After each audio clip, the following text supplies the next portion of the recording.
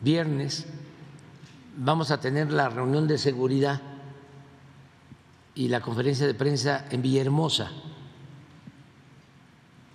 el viernes, porque además voy a pasar a, a visitar Dos Bocas y Minatitlán el viernes. Y el sábado, qué bueno que este, eh, lo señalaste, el sábado eh, es 18 de marzo.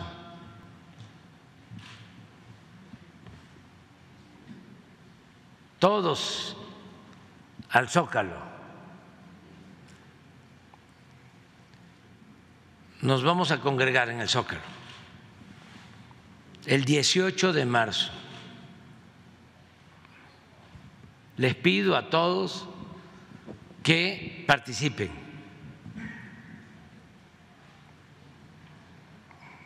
Dieciocho de marzo, cinco de la tarde, Zócalo.